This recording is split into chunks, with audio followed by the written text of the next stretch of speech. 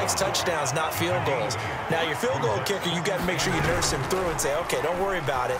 When we need you, you've got to be ready to... And a big loss here as he's taken down. Going to need better protection here. Third and long following the sack from Mahomes and company. Here's a play fake as they set up to throw. Oh, into a sea of defenders and intercepted. Kevin King with a pick. Into the end zone. It's a pick six and a Packer touchdown.